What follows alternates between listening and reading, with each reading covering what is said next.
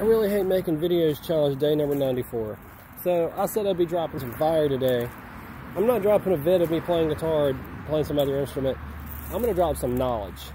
Okay, check this out. All of us lead guitar players are just like, I want to be the fastest. I want to be, I want to know all the scales, all the moves. I don't know what that was in my beer. I think it's milk. Um, I want to be the most knowledgeable, you know, the most skilled, etc. And so forth. Just complement the song. Like, just complement the song. That's that's all we're supposed to be doing.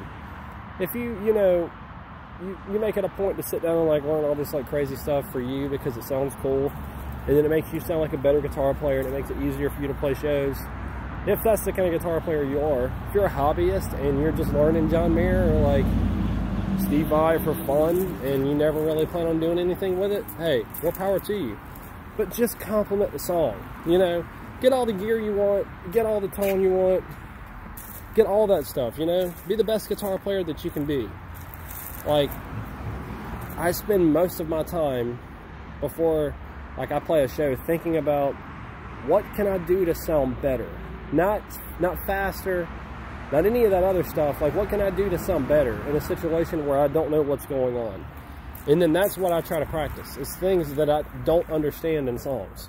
If I understand the entire song and I don't understand one part of it, then I practice that part of it until I get it. Then I get the entire song. Then I can solo over the song freely. Some weird jazz tune and it's got like a key change in it.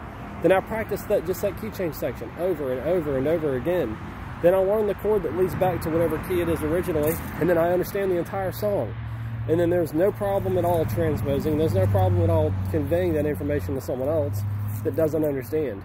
As a lead guitar player, I've learned that I'm also a music director. I'm a rhythm guitar player. Uh, I'm a bass player, and I have to tell bass players what notes if they don't know. If I'm playing with someone and they don't know the tunes as well as I do, then I'm an MD. So understand that as a lead player, it's not as much about how much you play, it's when you play.